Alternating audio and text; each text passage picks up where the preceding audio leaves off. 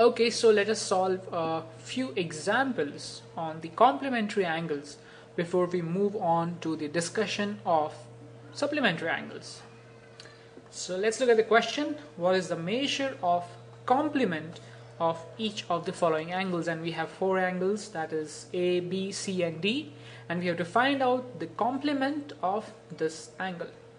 Now let me just reiterate the criteria for two angles to be complement of each other is when their sums that is angle x plus angle y let us say that these are these there are these two angles when the measure of these two angles the sum of measure of these two is equal to 90 degrees then they are known as complementary angles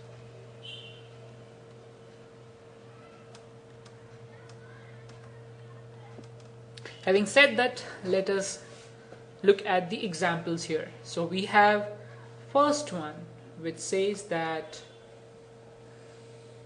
angle, let's say that we have angle x in all the cases, these are all angle x and we have to find out angle y. So in problem A, we have angle x plus angle y equals 90 degrees so we know that angle x is equal to 45 degrees right? So 45 degrees plus angle y equals 90 degrees. We can transpose this 45 degrees to the other side right? It is the same as subtracting 45 from both the sides.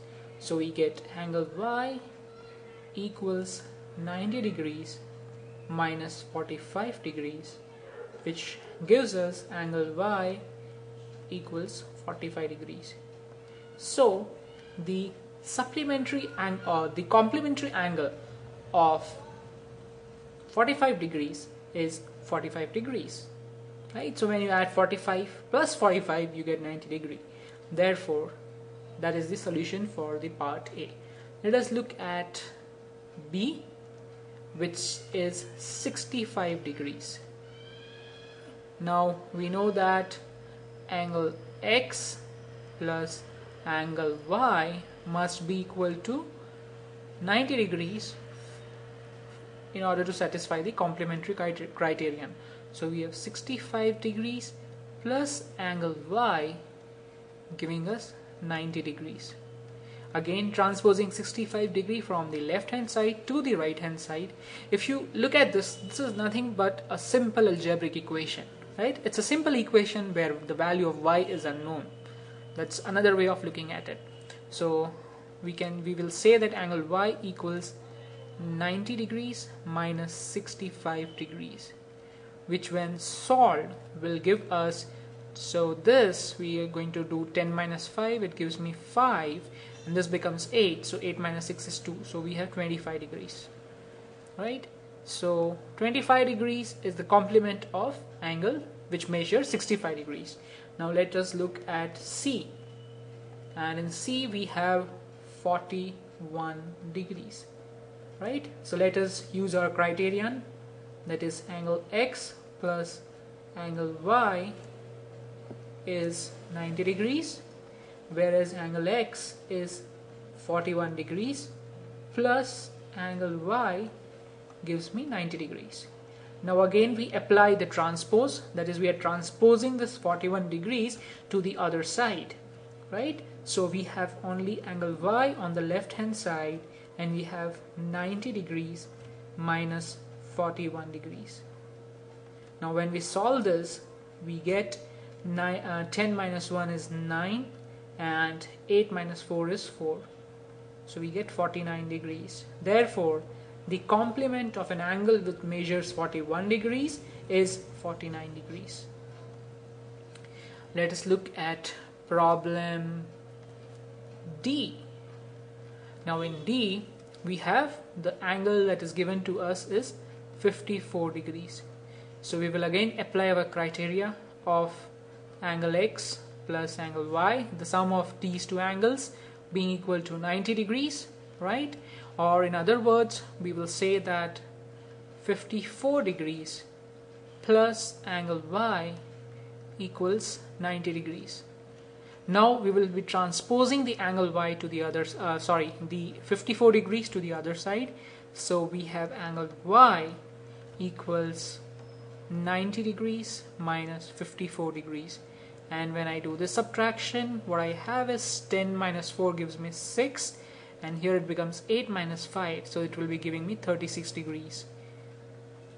So angle y is 36 degrees. Therefore 36 degrees is the complement of an angle that measures 54 degrees. So this is how we can find out the complement of an angle.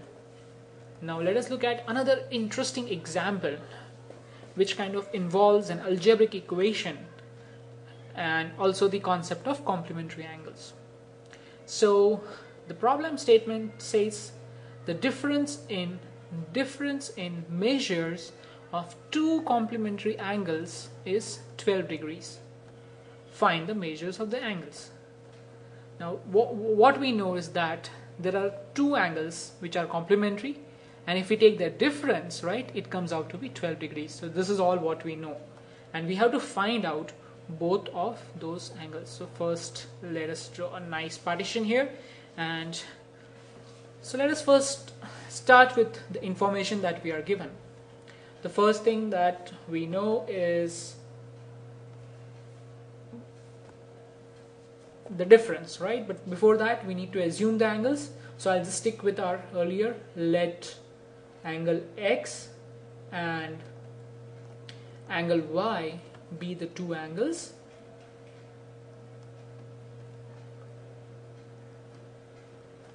Now let us say first try to form an equation which kind of satisfies this. So we say it, is, it has been told that the difference in measures of two complementary angles is 12 so it simply says that angle x minus angle y it should give me 12 degrees this is what I know. Let me just term it as the first equation. Okay. Now is there anything else that we can do to find out the values of x and y? Well we do know that the angles are complementary. And when we know that angles are complementary we know that their sum that is angle x plus angle y that should be equal to 90 degrees right? So this is equation 2 so now we have these two equations simple equations and we have to find out the value of x and y. Right? So let's do one thing. We can try to represent angle x in terms of angle y using the equation 1 so what we do is we will transpose the y to the right hand side. So we have y on the left hand side. We'll transpose it to the other side. So I can say that angle x equals 12 degrees plus angle y. Now this is our third equation right? So we got an angle x which is represented in term of angle y. Now we can use this value of angle x in equation 2 so that we get everything as angle y right? Sorry. So let's substitute this 12 12 degrees plus angle y into equation 2 so we have 12 degrees plus angle y which is x right? This is what we have substituted for x plus angle y equals 90 degrees. Now we can simplify this. So we have 12 degrees plus twice of angle y that is equal to 90 degrees now I can again transpose the 12 degrees on the right hand side. So we will have twice of angle y equals 90 degrees minus 12. And when we carry out this subtraction, we have 10 minus 2 is 8 and 8 minus 1 is 7. So we have twice of angle y equals 78 degrees. Now let us simplify this a bit further.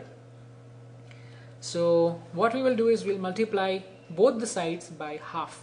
Or in other words I'll divide both the sides by 2 so we have twice of angle y divided by 2 equals 78 divided by 2 so this 2 gets cancelled out. And here we have 2 times 3 is 6 and 2 times 9 is 18 so we get angle y equals 39 degrees. Right so this is how we found out the first answer. We found out the value of angle y. Now we can find out the value of angle x using this equation.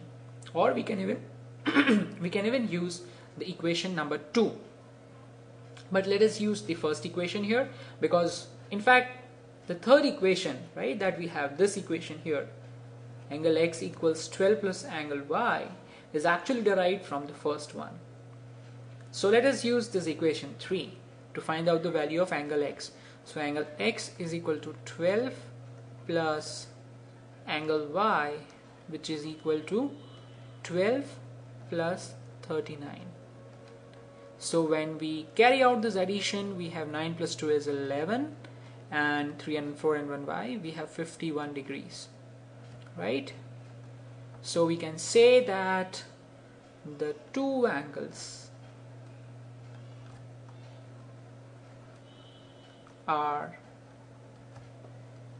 39 degrees and 51 degrees. And you can even validate that these two values they satisfy equation 1 and equation 2 so if you do angle x which is 51 degree minus 39 you will get 12 that is also correct. And if you add 51 plus 39 that is these two if you add you will get 90 degrees. So it satisfies both the equations. Therefore this is a solution to the problem given here.